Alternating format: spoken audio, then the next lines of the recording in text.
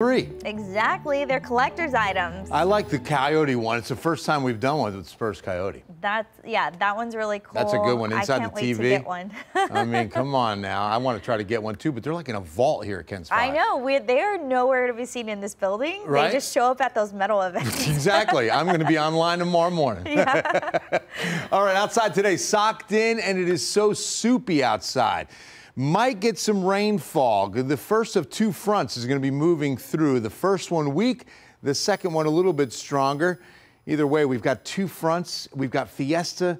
Lots to cover. Let's get to it. Live look around town right now. Again, socked in every direction. Mostly cloudy skies on a Monday.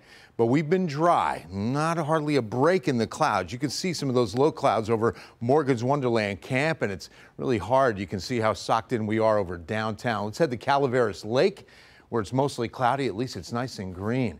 Temperature wise outside right now, we're at 88, so it's warm. And with that humidity, the dew point at 70, it feels like 93. So this is a soupy atmosphere with the southeast winds sustained at 21, and then we're getting gusts closer to 23, 25 at Boerne, closer to 30 when you go up to Kerrville and Fredericksburg.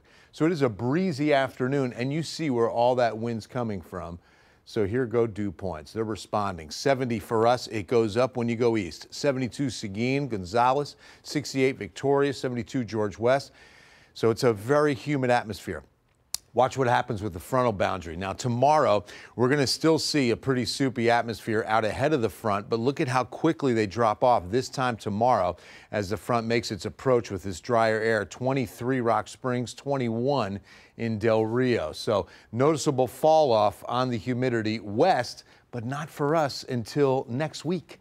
It's going to be a humid week, a humid start to Fiesta on Thursday, Friday, Saturday, humid days, and then that second front has the real dry air. As we head into next week, we're looking at dew points dropping nicely. So here's the position of that first front. We can already see some pretty decent rain out ahead of it. I mean, these are just showers. We haven't seen thunderstorms develop, but severe prediction centers put this region in a category three out of five, two out of five for Dallas Fort Worth today and tonight to see some severe weather across this cold front or out ahead of this front as it pushes east into a really humid atmosphere. I mean, it's also very humid up in North Texas as well.